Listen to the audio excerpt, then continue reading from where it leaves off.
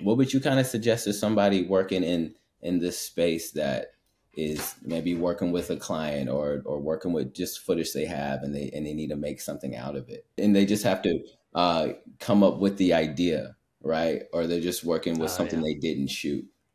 Uh, i found that a lot of time for me whether it's like a, a client job or something i'm doing myself or anything really there's always like a key. There's there's one thing i have to find or figure out and then when i do it just opens up the whole project to me. Even when i'm doing like just an interview edit or something and i'll be doing it and it's like eh, okay i'm just kind of like stumbling in the dark it feels like. I'm just putting one sound bite another sound bite like here's some b-roll but nothing's really jumping out to me. And then there'll be one thing like maybe some I stumble into some transition or I find some music track that's kind of weird but somehow works well and then that just blows the whole thing open and I just kind of like lean into that. You find this like concept or idea and that becomes your lens through which you see this video and then that just like opens up so many